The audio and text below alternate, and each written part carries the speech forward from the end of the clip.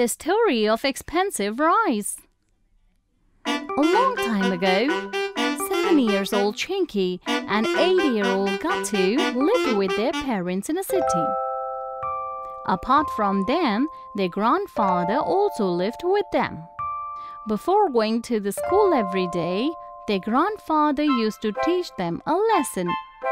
We should never bow down in front of whatever that's wrong, so that it may never do wrong with anyone ever. All right, Grandpa, we shall always remember this for sure. Saying this, they both left for the school. After some time, their mother, after finishing all the household work, went near the grandfather and said, Daddy, I have to go to the market now. All right. The shop has so many items. Today I shall purchase grocery from here. Shopkeeper looked at her and said, Come, madam. You are most welcome in my new shop. So tell, what would you like to purchase? Give me 5 kgs of good quality rice. All right. I shall quickly arrange 5 kilograms of good quality rice for you. Take this. After reaching home, when she opened the bag to take out the rice, she was surprised. There are so many pebbles in this rice. It seems like the shopkeeper has given me this by mistake. Thinking this, she picked up the bag and again went to that shop. Mr. Shopkeeper, these rice have so many pebbles in it. No, no. I gave you 5 kilograms of good quality rice. But your rice has so many small pebbles. I sell rice only. Do not sell pebbles. No idea from where you got these pebbles. She became very upset by his behavior, but she didn't say anything to the shopkeeper and quietly came back to her house. The grandfather noticed that she was upset. Then he asked, What happened, child? That shopkeeper gave me rice full of pebbles and he isn't ready to accept any fault of his. Right then, Gatu and Chinky also came back from school. What happened, Grandpa? The grandfather told him everything. After hearing everything, Chinky said, Grandpa, we should teach that shopkeeper a lesson. Yes, Grandpa, you taught us in the morning that we should never bow down before anything that's wrong. I agree with you, my children. But after all, what can we do to teach that person a lesson? I have a brilliant idea. And according to the plan, Grandpa also went to the shop and said, Will you please give me 5 kilograms of good quality rice? The shopkeeper gave him 5 kgs of rice full of pebbles in a bag. And after some time, Gatu went to the shop. Uncle, give me 3 kilograms of good quality rice.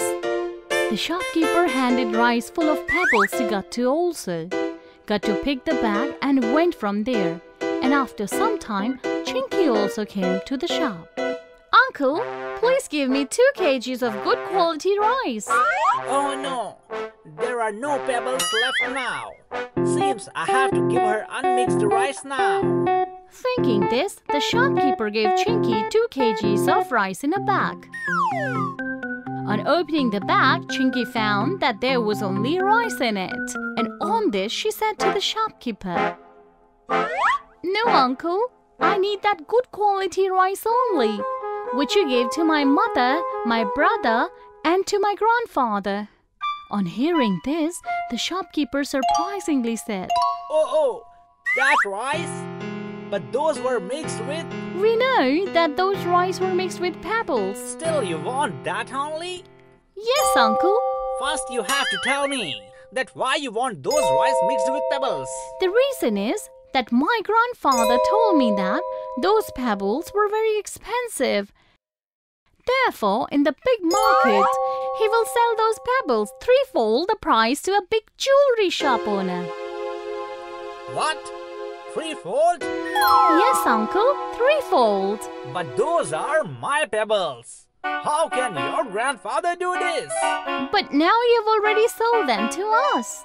Haven't sold them. By mistake, I gave them along with the rice. Therefore, they are mine. But No if and but now.